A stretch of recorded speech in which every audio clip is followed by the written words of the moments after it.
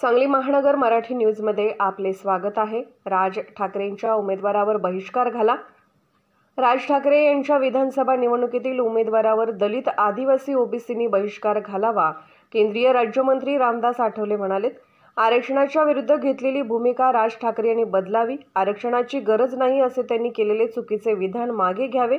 त्यांनी जर आरक्षण विरोधी भूमिका कायम ठेवली तर विधानसभा निवडणुकीत राज ठाकरे यांच्या उमेदवारावर दलित आदिवासी ओबीसी बहुजनांनी बहिष्कार घालावा असे आवाहन आज केंद्रीय राज्यमंत्री रामदास आठवले यांनी केले आहे.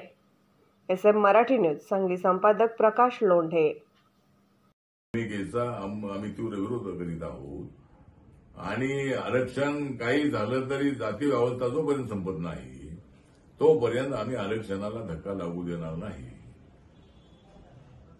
राज ठाकरे यांना माझी एवढीच नम्र निवेदन आहे. की आपण अशा पद्धतीची भूमिका मांडत असाल.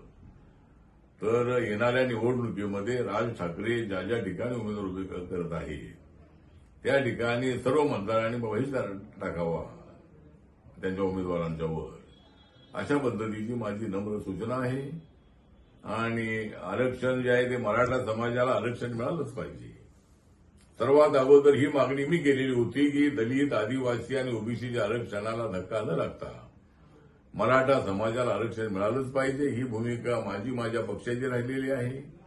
त्यानंतरच्या काळापासून मी मागणी करत आलेलो आहे. आज म्हणून जरांगे पाटील अग्राणी त्याची मागणी करतायत चांगली गोष्ट आहे. पण त्यांचा जो हट्ट आहे. ओबीसी मधूनच आरक्षण मिळालं पाहिजे.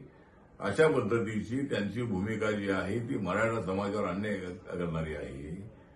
एक तर कुणबी जो समाज आहे त्या समाजाला ऑलरेडी ओबीसी मधून आरक्षण मिळतच आहे. परंतु मराठा समाजाला स्वतंत्रपणे आरक्षण मिळालं पाहिजे ही मागणी सातत्यानं पुढे आली. आणि त्यामुळं महाराष्ट्र सरकारने माननीय एकनाथ शिंदे देवेंद्र फडणवीस अजितदादा पवार यांच्या सरकारने मराठा समाजाला दहा टक्के आरक्षण देण्याचा निर्णय घेतलेला आहे.